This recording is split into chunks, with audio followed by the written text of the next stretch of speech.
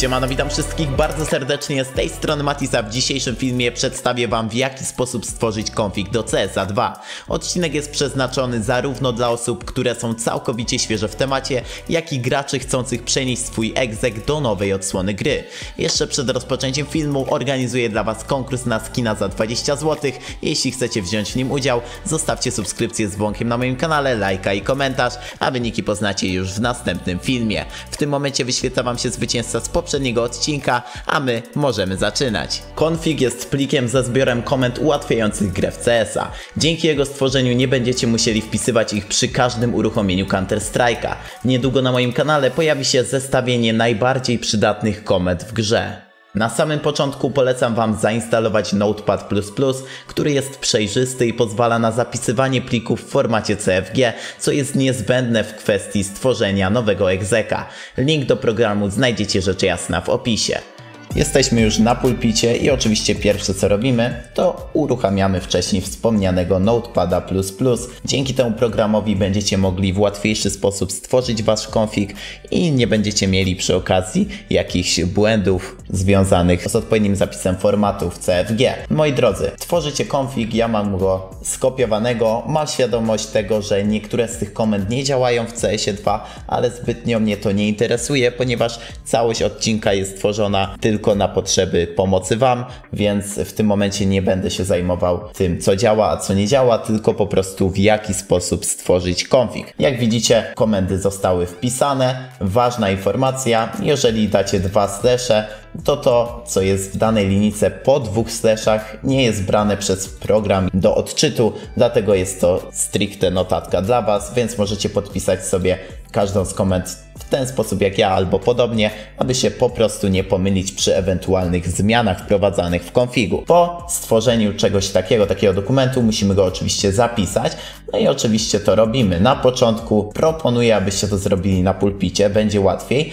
i robicie następująco. Ja nazwę to autoexec.cfg, oczywiście format CFG musi być i jak sami widzicie, na pulpicie powinien się już znaleźć plik autoexec.cfg. Jest on w tym miejscu i jeżeli chcecie go otworzyć, ważna rzecz, nie klikacie dwa razy lewym przyciskiem, tylko prawym i edit with notepad. Wtedy będziecie mogli bez problemu go zmieniać. Ale w tym momencie trzeba umieścić w odpowiednim folderze właśnie ten plik. Ale w jakim? Już Wam pokazuję. Wchodzicie na Steama, biblioteka, Counter-Strike 2, prawy przycisk myszy, właściwości, zainstalowane pliki, przeglądaj i tutaj zaczyna się cała zabawa. Po otworzeniu tego folderu musicie wejść w game, następnie w core i CFG.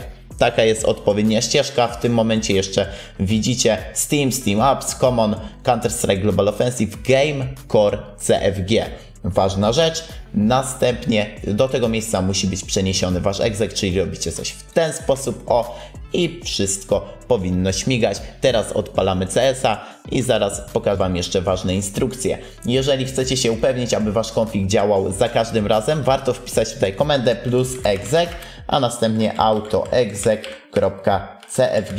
Dzięki temu podczas uruchamiania gry automatycznie wasz konfig załaduje się.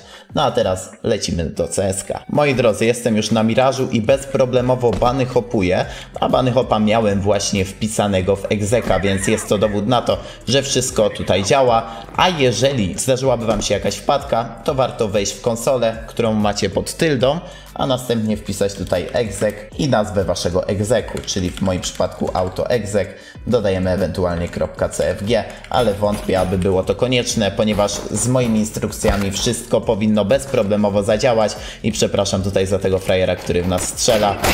Trzeba go wyeliminować. Dziękuję serdecznie za obejrzenie tego materiału. Jeżeli Wam się spodobał, koniecznie zostawcie lajka. Mam nadzieję, że pomogłem Wam skompletować Wasze komendy w odpowiednim pliku i folderze. Pozdro dla wszystkich. Do następnego. Na razie i cześć.